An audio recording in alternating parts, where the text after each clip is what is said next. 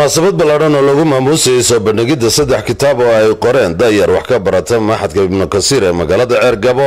ayaa waxay ku qabsoontay masjidka altaqwa ee magaalada ceergabo munaasabadan oo si hersare loo soo agaasimay ayaa waxaa ka soo qayb galay mas'uuliyiin xildhibaano culimaaudiin waayeel arday iyo martisharaf aad u tiro badan waxaana ugu horreynba munaasabadaasi ka hadlay macalin abshir xuseen maxamed oo ka waramay sida uu ugu faraxsan yahay inuu maanta arko ardaydu ay waxbareen oo ku fekeraysa inay alifaan oo ay qoraan kutub ummadda wax u taraysa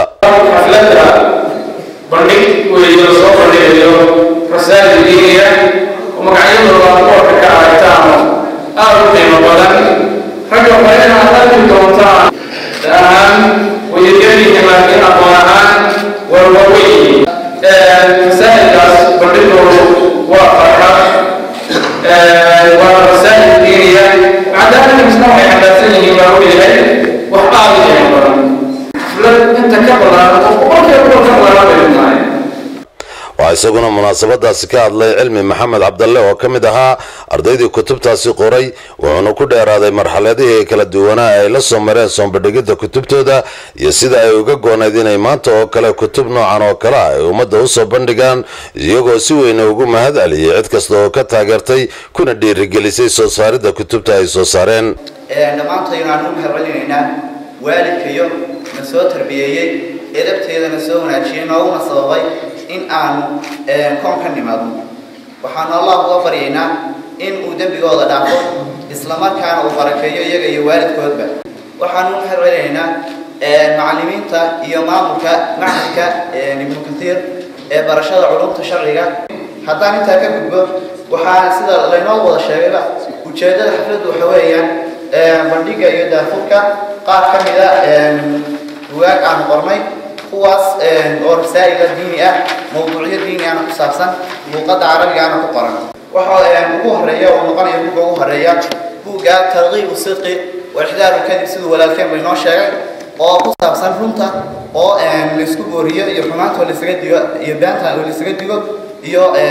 fadligeeda oo aan qoray labada kun iyo afar iyo tobanka sidaan hadhow tukusi doona markii ugu horreysay aan qornay bugaag waxay ahayd walow aanay daabanayn labada kun iyo saddex iyo tobankii bishii agosto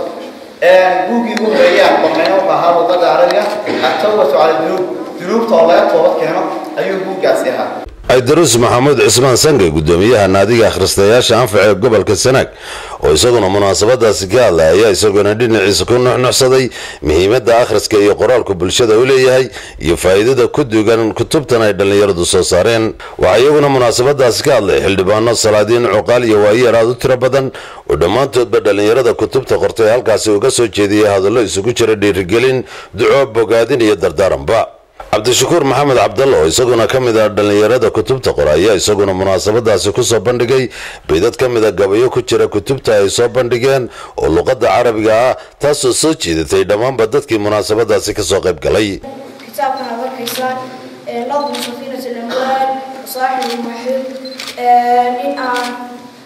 Ka ku maqashiiyo kitaabka magaciisa waxa weeyaan waa waa gabay سفينة الأموال ودونتا موجلها وصاحب إيو حياتا بدوينتا يقول راضي بالغفران الغافري عبد الشكور من بلاد الصومال. الحمد لله الذي قد جعل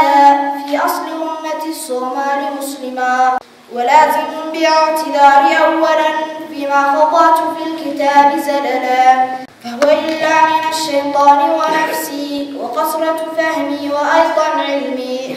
ugu dambayntiina waxaa munaasabadaasi soo gabagabeeyey isuduwaha wasaaradda dhallinyarada iyo ciyaaraha ee gobolka sanaag maxamed siciid saalax dhagayare oo isaguna dayarta kutubta soo saartay ugu hambaliyey gusha ay gaadheen kuna bogaadiyey inay dadaalkooda halkaasi kasii laban laabaan dhallinyarada kutubtan qortay oo walaal ahaa ayaa kutubtooda diiradda ku saaray mowduucyo la xidhiidha diinta islaamka suugaanta iyo luqadda carabiga waana markii ugu horreysay ee dhallinyaro ku jirta heerka waxbarashada gobolka sanaag ay isu taagaan inay soo saaraan kutub la xidhiidha diinta islaamka iyo xoojinta luqadda carabiga oo beryahan dambe la moodo inay sii yaraanayso adeegsigeedu. Maxamuud maxamed xasan saraaf warbaahinta qaranka somalilan arigal